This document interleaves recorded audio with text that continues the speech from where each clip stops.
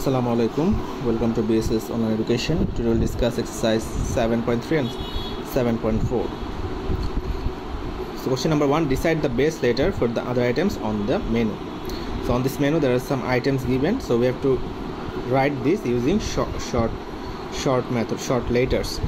So for juice we can write use the letter J for water the letter will be W for fruit F and for sandwich S question number two is write the, these orders using Kate's quick way.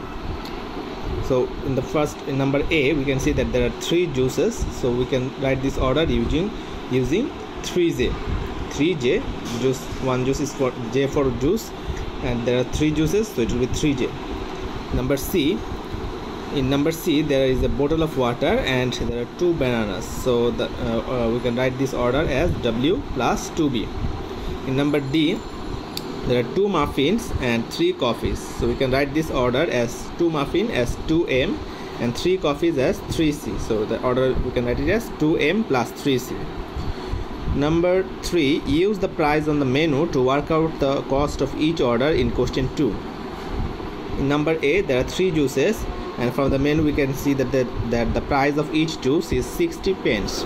So the price for three juice will be 3 multiplied by 60 pence and we can write 3 multiply 60 separately as 60p plus 60p plus 60p and if we uh, add them the answer will be 180 so it will be 180p or we can if we write it in pen uh, pound 180 divided by 100 is equal to 1.80 so 180p is equal to 1.80 pounds. Number c there are there is a water bottle and two bananas so for price for uh, water bottle is 50 pence and price for each ba banana is 40 pence. So it will be 50 pence plus 2 multiply 40 pence. So 2 multiply 50 you can write it as 50 pence plus 2 multiply 40 pence as 40 pence plus 40 pence. So it will be 50 pence plus 80 pence is equal to 130 pence is equal to 1.30 pounds.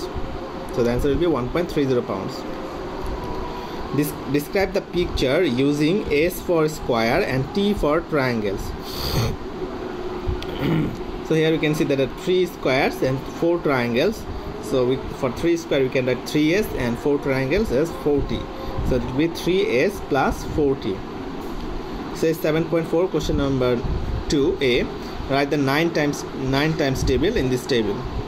So 9 ones are 9, 9 twos are 18, 9 threes are 27, 9 fours are 36, 9 5s are 45 9 6 are 54 9 7 are 63 9 8 are 72 9 9 are 81 9 10 are 90 so that's all. Hope you understand. Thank you